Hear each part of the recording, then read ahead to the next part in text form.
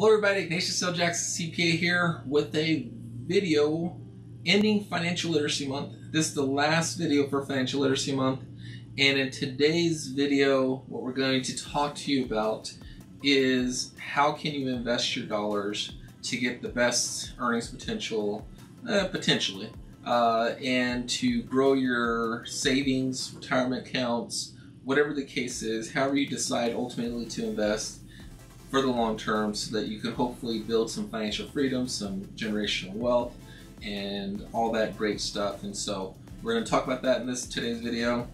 Like, subscribe, listen in, stay tuned. We'll be right back in a second. All right, see you soon.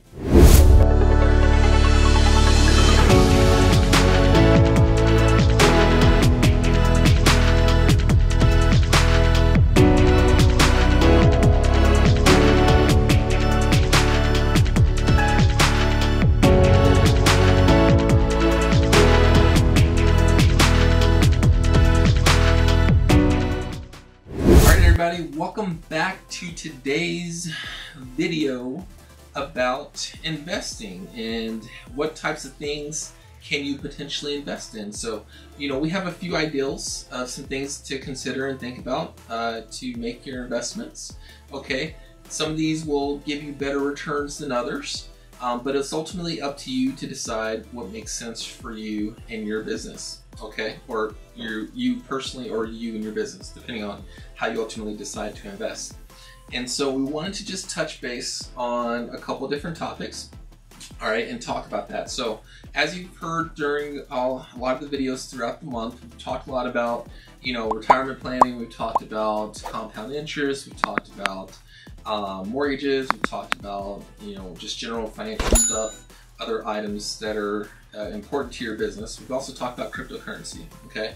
And so, you know, we wanted to just also touch on some other general topics that you can think about in order, in terms of things that you could potentially do to invest and save towards your future, okay? Um, and ultimately, these, thinking outside the box a little bit, is how you're going to ultimately build, you know, substantial wealth, okay? And the key is that I want you to remember whenever you're thinking about investing, is think about diversification, okay? Think about how you're going to diversify your portfolio, is what we're gonna call it, okay? You're gonna have a certain percentage in you know real estate, certain percentage in crypto, a certain percentage in crowdfunding, etc., etc. So kind of think through what it is, how you want to divide up your portfolio, take a look at what you have available, and think about how you want to uh, divide that up. And that's ultimately what you're going to do in terms of going out there and investing and getting a return on your dollars, okay? Um, there's a lot of different things you could do, a lot of different strategies you can employ, and so it's all just a matter of finding out what makes sense for you and what your risk appetite is, okay? Now, we'll start with some of the safer options, right? Which is the stock market, okay? So a, a fairly safe option, you know, the safest option is probably investing in bonds, okay? But those are not going to give you those massive returns that we're talking about. That's really going to help you to grow your retirement or grow your savings, okay?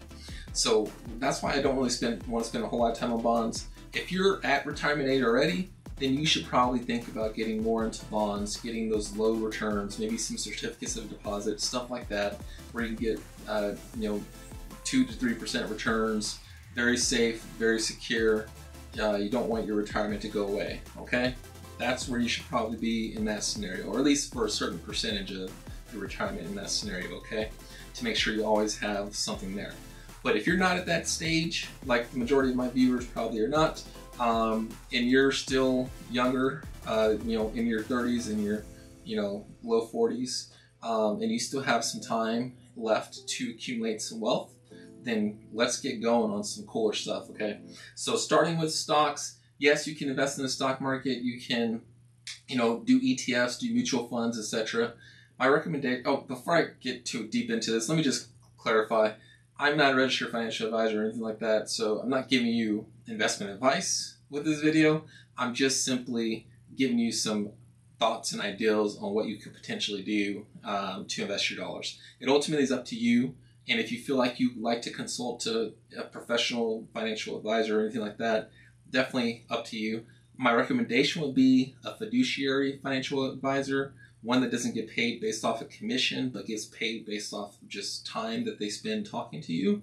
Uh, would be my recommendation because that ultimately will mean that you'll get probably the best investment options because if you go to someone who gets paid based off a percentage of the investment, they're basically only going to sell you whatever they're selling you, whatever's going to make them money. Okay. But, anyways, back to what I was saying. So, my recommendation with stocks, if you want to do stocks, um, will be one of two things either individual stocks or ETFs. Okay. You could also do some low fund mutual funds like uh, there's some Vanguard funds and things like that that are out there that are pretty low fee. But generally speaking, if you do like an ETF or you invest in stocks, those are going to be fairly low fee um, type of funds. But look into those. Okay, individual stocks are virtually feeless at this point, but they are probably some of the more riskier side of the stock market in terms of you know you don't know if it's going to go up or down in any given day but there's a lot of opportunity if you do individual stocks. Okay, so if you like the idea of investing in the stock market and you want to be safer, maybe go ETF route. If you want to be a little bit riskier, go the individual stock route. Pick pick a couple that you like, put a few thousand into them, see how it goes. When it, you make a profit, sell it, etc., etc. Okay, so that's an option. All right, now let's start to go into some slightly more risky options. Okay, so let's think about maybe instead of just investing in the stock market, maybe you give some loans out. Okay, so you can give actually personal loans out to people. Uh, there's various platforms out there that do this. Um, uh, one example is Lending Club. Another one is Prosper. Okay, so you can go to one of those platforms. They'll let you uh, sign up for an account. You put some dollars into it, and you basically lend it out to people uh, for a, a return of interest. Okay, and they pay you interest back over time. All right, and so these are sometimes uh, depends on the, the person. Sometimes high grade, sometimes low grade. So it just depends on what what you're doing in terms of what you want to do there. Okay, um, but that's an option. Okay, and I've know some people who get some pretty good returns doing this. To be honest, you can also give out loans for real estate. Okay, which is a secured asset. You have a, a deed or a title to the property, and basically you'll be able to foreclose on that property um, you know, with your mortgage or with your uh, deed in the event that the person doesn't comply with the mortgage. Okay, um, so that's a more of a secured asset. You can also do secured loans, um, you know, personal loans where maybe you're attaching it to a car or something like that. So there are some different ways that you can do all this. Okay, so that's another another option, a little more risky, but something to, to consider. You can also invest in cryptocurrency, which I talked about in the last video, so I'm not going to get too far into that it is fairly risky, right? Because we don't, it's got big swings up and down. Just depends on the day of the week that you're you're in there looking at the Bitcoin and whatnot. but um, definitely something to think about and consider is you know cryptocurrency because it's it's the craze right now. You know, Bitcoin's had a huge run. Ethereum's having a pretty good run. Uh, Litecoin is probably the third most popular one. So a lot of options, a lot of opportunities there to invest in Bitcoin or any other uh, cryptocurrencies. Okay. Um, real estate. Real estate is you know maybe a little bit of a safer option. Okay. Um, that's a, that's something that you can definitely invest in.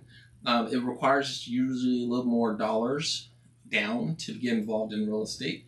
But the key there is find some like-minded people who want to invest with you and partner up. So real estate is actually a pretty good um, asset to partner up with someone on. Okay, um, because then it requires less capital on your part, and maybe you can go out there and get more deals instead of putting all your money into one deal and diversifying a little bit. Okay, because if that one deal goes bad and you lose your fifty thousand dollars or whatever it is you have to invest into it, that's not going to be good for your financial future. But if you split it up into two different deals, 25,000 each, and one goes bad and you lose 25,000, well, you still have the other 25,000 that's hopefully doing well. Chances of you having multiple real estate deals going bad is pretty slim, but it can happen. Um, uh, but hopefully, you know, you, you, you don't have that happen to you. okay, so real estate tends to be a little bit more secure, a little more safe. It appreciates really well over the long term. Okay, it's a great investment uh, as far as I'm concerned. Um, everyone should have a little piece of real estate outside of just their personal residence. Okay, you should always kind of have something that you're actually making money off of in the real estate field. And if you don't want to do like an actual purchase of a house, there's various funds out there, um, kind of like REITs, um, where you can invest just a portion of your dollars into it and be kind of an investor as a, as a part of it. Okay. Uh, one example is DiversyFund. Okay. As an example, where they invest basically in multifamily projects and you can go invest in them. One locally here in Arizona is called Neighborhood Ventures, where you can go and basically invest in local projects okay? Um, and they use a, re- a, regulation crowdfunding exemption that's here in Arizona, an interstate exemption, meaning it's only for Arizona residents, okay? But uh, you can basically do that uh, unless you're an accredited investor, in which case you can still get involved in their fund, um, but you just have to go through the accredited investor route if you're out of state, okay? And so th- there's a lot of funds out there that are doing real estate type stuff and real estate type deals. So that's something you can think about and consider as well if you if you don't feel like going and buying your own property and you don't want to do any work on it, things like that, you can go and get one of these transactions one of these deals where you're basically a part of a fund, a part of a pool of investors, and do it that way. Okay, so those are a, a few cool options that you can consider. All right. Now the other thing I want to mention is crowdfunding. So I kind of hinted on it a little bit with you know what we were just talking about. So DiversyFund is a crowdfunding campaign. Okay, Neighborhood Ventures is also a crowdfunding campaign, but it goes further than that. These guys are more safe plays because they're doing real estate, but there's more risky plays in crowdfunding where it's a startup company, where the company is just beginning, um, or they've been around for a couple years, they're just not quite profitable yet, and they need to raise some dollars to get them to that level where they hopefully can become profitable. So that's what this that's what the crowdfunding is kind of out there and designed for. And basically anybody can invest in crowdfunding now. Okay, this started a few years ago. It's a pretty awesome uh, tool that's out there. Not a lot of people know about it, but there's various sites you can go to to to look into that and to consider that. Republic being one of them, WeFunder being another, and Start Engine being another. Now, I will probably say Start Engine is probably Start Engine and WeFunder are probably the, the two largest. Republic is probably a, a third, close third, okay, to those three. But those are definitely the three largest crowdfunding campaigns that I know or sites that I know that are out there. But those are great opportunities for you to go out there and invest um, in some various businesses. Pick something that you, you feel really close to. Pick some kind of social cause or some kind of um, you know thing that you think will ultimately make it because it's going to be the next big thing. Um, you know, personal story. I had an investment in a company called Mevo. This was through crowdfunding, and I got a notification a few months ago that they had basically closed on a acquisition. They were got, they were getting acquired by Logitech. This is all public information now, so I can disclose it. Um, but ultimately, they got bought up by Logitech all within a year of me making my investment, and I basically doubled my money uh, with the potential of an earnout where you know we can potentially get even more than double our money. And so that's the whole key to crowdfunding is you take a few bets, you take a few risks, um, and a few of them are eventually going to pan out. Okay, so excuse me. Um, ultimately, what you want to do is if you're going to do the crowdfunding thing, don't put all your eggs in one basket. Same thing as anything else. Diversify a little bit. Pick like five to ten uh, crowdfunding campaigns. Let's say you got like five thousand dollars to invest for a year. Okay, pick five to ten campaigns and invest between five hundred and thousand dollars in those five to ten campaigns. Okay, and bam, let's hopefully one of them just kicks off and takes off and really makes some good profit and some good money, and you become rich off of it. Um, so think this is the kind of stuff, by the way, that now granted on a larger scale, they at big dollars, right? But this is kind of stuff that you know you got popular people like Mitt Romney who went through and did stuff like this. He invested in some startups and really paid off big, like big, big. I'm talking about millions of dollars. And ultimately, he ended up, you know, having all this done inside of his Roth IRA, by the way, uh, which is another thing we're going to talk about here. Um, but yeah, he did all this inside of his Roth IRA. Has like probably a multi-million dollar Roth IRA at this point. I, I, I don't know the exact number. It's probably like 30, 40 million. Nobody knows exactly what it is at. But, you know, when he went through the presidential campaign, that's how we found out that he had that much inside of a Roth IRA. Um, but who knows what it's at at this point? I mean, it's continued to grow, I'm sure. And so it can be $100 million, you know, potentially. So you just never know. Um, but there are people who have that much inside of a Roth IRA. It's because they invested it wisely into things that have huge earnings potential. Okay, um, so crowdfunding is another great option, another great tool that's available to you. Um, so definitely look into that. It's called Regulation CF, Regulation, which stands for Regulation Crowdfunding, and Regulation A Plus. Those are the two big uh, types of crowdfunding uh, investments that you can do out there. Regulation CF and Regulation A Plus. Okay, so you know those sites that I mentioned have that. There's other sites as well. Don't get me wrong. Don't don't think it's one of those three. Those are just the three biggest, which means they probably have the most deals that come through their sites just because they're uh, some of the bigger players in the space. Okay. Um, the other thing I'll, I'll mention that is probably one of the more risky things out, out of all of this is just starting your own business. Okay. So if you start your own business, you invest your, your dollars into starting your own business. That's a powerful, powerful play because not only now do you get to, you know, potentially have some great income coming in, a great source of income, maybe even replace your W-2 job to where you don't have to work in that corporate environment anymore or the government, whatever field you're in, okay? You can now have a business of your own, whatever it's, whatever industry, construction, accounting, uh, paralegal, lawyer, uh, doctor, anything that you can think of that you can reasonably get a business going, that's a powerful, powerful investment strategy because ultimately you're getting income coming in, okay? Um, and that income that you're earning, especially if you have another job that you have um, uh, as your full time job, you really probably don't even need this income from the business. So you just basically start investing in that business. Maybe putting it away into a 401k, um, you know, putting it into other you know deferred vehicles and other investment type strategies and things like that. And that's going to ultimately just help you grow and grow your wealth even more. Plus, you get to write off a bunch of expenses inside of a business. So all the, not all, let me clarify my statement. Let me not give you too much hope here.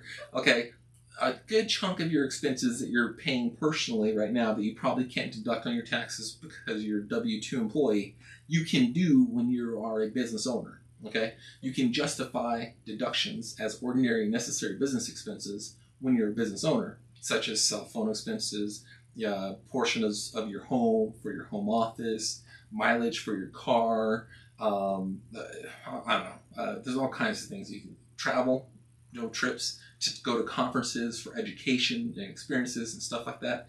All kinds of things that you can write off inside of your business that you're probably doing anyways, but not really getting any benefit from it from a tax standpoint. So having a business is a great tax strategy, and you can even own a business inside of your retirement account. Okay, but it's not going to be tax-free growth. You're going to pay some taxes on it but it won't be nearly as much as if you owned it outside of your retirement account.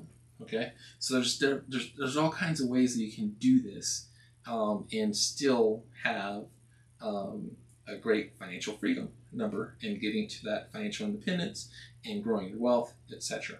Okay, so owning a business, think about that. Okay, and then the last thing that I kind of have on my list in terms of investment strategies, and then we're going to touch on why it is so important to do a lot of your investing inside of retirement accounts because I really, really am passionate about that. My shirt, paying your kids. Okay. So I might have touched on this on one of my other videos for the month, but I want to just reiterate it. This is essential. Okay. Don't think of it as giving your kids a free ride because they have to work for it. Okay. Don't just act like your kids are on the payroll and not actually have them do anything. That's absurd. Make your kids actually work for it. Okay. I don't care what they do. Shred some papers. Uh, you know, enter some data into the QuickBooks file. Um, I don't know, cut some trees down at the rental properties.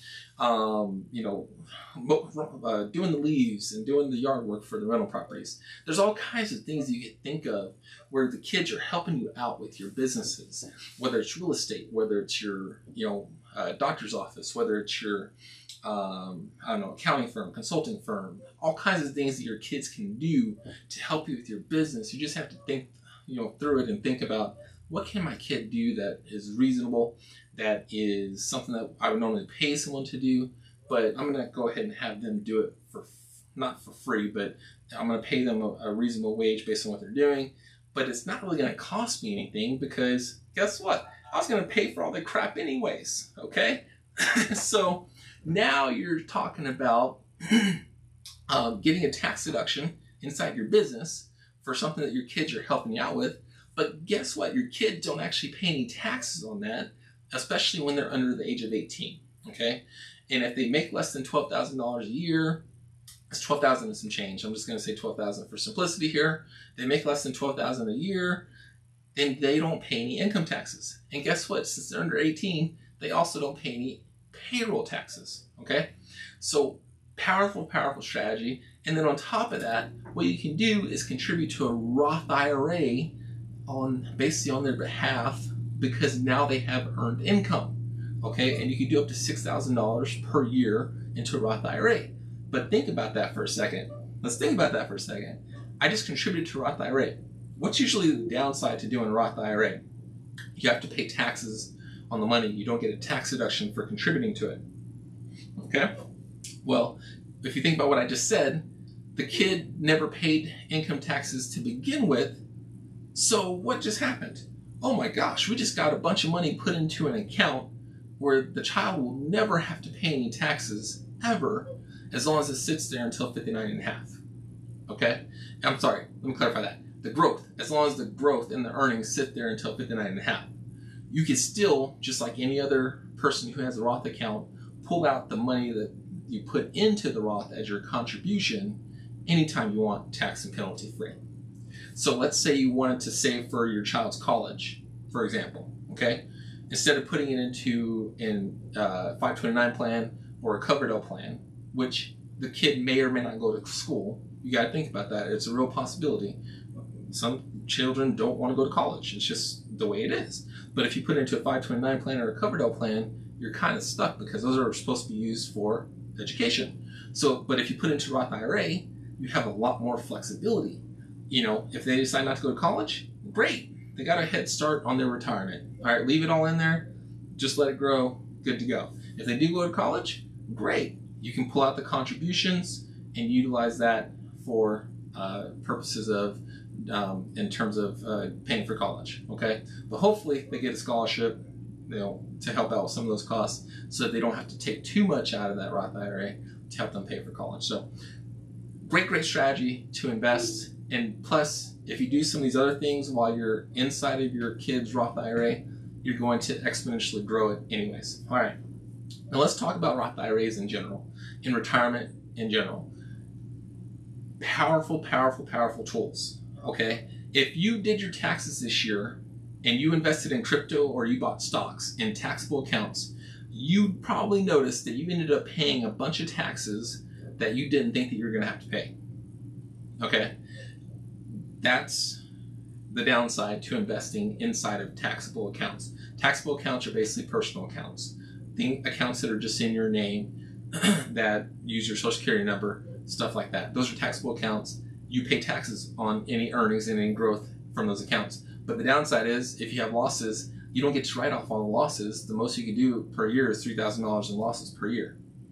Okay, if you have net loss. But it does carry over, so you get $3,000 every year that it carries over. But nevertheless, that's the best you can do. So it's not the greatest thing to invest in taxable accounts. I mean, sure, you could do a little bit that way, but my recommendation, nine times out of 10, is to do more investing inside of your retirement accounts. Don't just trust the stock market. Don't just put it to the stock market. Do the crowdfunding, do the crypto, do the loans, do the real estate, do uh, a business. All those things that I talked about earlier in this video, you can do all of that inside of your retirement accounts, whether it's a traditional IRA, Roth IRA, solo 401k, uh, Roth 401k, SEP IRA, simple IRA, um, HSA, health savings account, Coverdell IRA for education purposes. You can do it in all those accounts. Only you can't do it in 529 because that's a state sponsored plan. But you can do all those IRAs, all the various IRAs that are out there. You can use do those, and you can also do your 401k, and you can also do your health savings account. Powerful, powerful stuff. Just imagine if you invested your health savings account into a project for crowdfunding. Just throwing this out there and that crowdfunding campaign took off, just took off. Let's say you had 10,000 in there and you invested it into a few crowdfunding campaigns and you had one that paid that went 50 times. Bam, you just made $50,000 potentially if you had a $1,000 investment in it. If you had 2000 it's 100000 I mean, you just made all this money and it's never going to be taxed. Because the other nice thing about HSAs is you don't you get a tax deduction when you put money in. Okay? So you get a tax deduction when you put money in and you don't pay any taxes when you pull it out as long as you pull it out for medical purposes. Okay? And the key to HSAs, by the way, um, I don't think I've mentioned this yet in, in, the video series for this month, so I'll just note this here. I highly recommend that you not take out your expenses each year. Hold on to those bad boys, put them into a folder, or use an HSA custodian that kind of has a repository where you can store it electronically. Save it to a drive on a computer or in the cloud, like your, your email or something like that. But save all those receipts. Wait 10, 20 years, whatever, until you actually need the money. Then pull it out. Okay? You can pull out your stuff from the HSA at any point. You don't have to do it the same year that you incurred it. it's a common misconception. You do not have to do it the same year that you incurred it. You can wait a period of time and pull it out at any point in the future. Okay? So you can always get that reimbursement from your HSA. So think about that. Let's say you have some massive expense that comes up down the line and you don't know how you're going to pay for it. Bam, you have that in the background. Oh, I can always just submit some of these bad boys, pull it out of my HSA, good to go. Then you can use that reimbursement for whatever you want because you've already paid for the medical expenses previously. So that's the strategy for the HSA. But ultimately, that's the key. Do more investing inside of your Roth IRA, traditional IRA, HSA, SEP IRA, 401k. I'm saying this multiple times because I really, really feel passionate about this. And then have your kids, maybe your spouse, others, family members, etc. You can all partner together with your retirement accounts and invest all your retirement accounts together. That way you're not taking on all the risk yourself. You know, you can do it with friends, you can do it with business partners, okay? There's certain rules and things you have to follow, but as long as you understand those rules and you work with someone that's competent in this area that can explain the rules to you and help to keep you out of trouble, you know, seek advice, ask questions, as long as you do that, you're going to be in so much better of a position. Because guess what? When you do this inside of all these accounts, you don't pay taxes off of the earnings, with the exception of a business. You don't pay taxes off of passive investment income, loans, crowdfunding, uh, cryptocurrency, real estate. You don't pay taxes off of that, okay? Only on earned income, on active income, on business type income, okay? Everything that would be considered active or business income as a personal investment, similarly, is going to be that same thing inside of your retirement account. So examples would be flipping houses. Unfortunately, that is an active item, okay? Mining. Unfortunately, for cryptocurrency mining, that is an active item, okay? You're not going to be able to avoid all taxes, all right? Um, let me think, what's some common misconceptions there? Uh, Airbnbs, when you do hospitality type services, like you do daily housekeeping and come clean the rooms and stuff like that, that becomes a business active type item. Okay, so there's other things that would become active income just based on how you're doing it, but ultimately there's a way to get around paying a large amount of taxes. And the way you do it is by setting up a blocker corporation, a C corporation that blocks the income. Now, this is still a good strategy for the time being. If they change the tax laws, keep keep keep in touch with the tax laws because if they change the tax laws, then this may change a little bit some of the strategies related to this. But if you use that blocker corporation with a 21% corporate tax rate, that's all that you would pay is basically 21% corporate tax rate on the income. The rest of it flows through to you personally tax free, okay, as a dividend um, into the retirement account. All right, so bam. I mean, just just think about this just think if you were to do some of this stuff, if you started putting your investments in your retirement accounts and your retirement accounts started being your investing entities and everything for what you need to do, just think how exponentially you can grow. If you don't have to pay taxes as you go, you grow your money so much faster.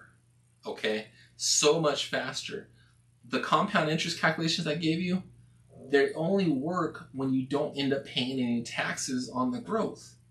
you know, if you end up paying taxes, now you got money coming out of there, you got expenses coming out of there. It hurts your ability to grow it as fast as possible. That's why it's important to do these inside of your retirement accounts. Self direct your retirement. It is important, it is essential, it is key to financial freedom and the American dream and generational wealth and whatever else you can think of.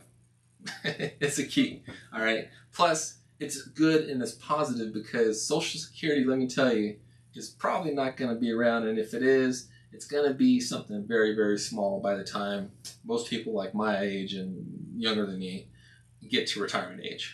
Okay. So uh, just think through that. You're going to be spending a lot of time uh, waiting around for Social Security if you don't have um, any retirement plans, uh, any retirement saved up. All right.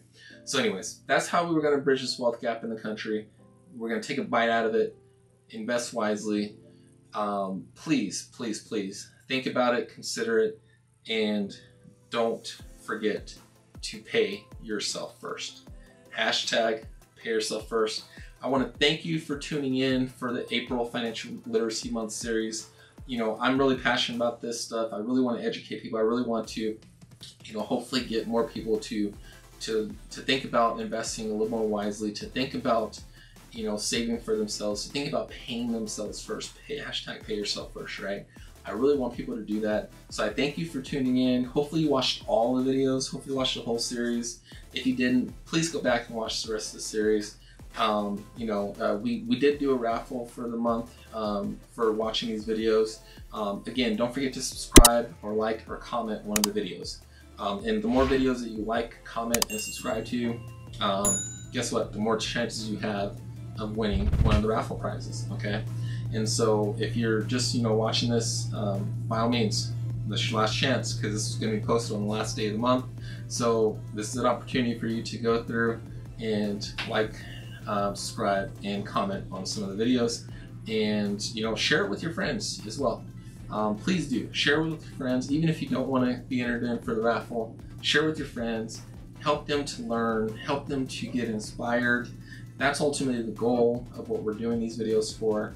I'm not going to stop here. Just because Financial Literacy Month is over, we're going to continue to do videos. Maybe not quite as frequently, but we'll definitely continue to do videos um, to, again, educate you on some other ideals, strategies, taxes, etc. So definitely subscribe to the channel, stay tuned, um, and we'll be back for more later. We'll be right. Have a good day. Bye.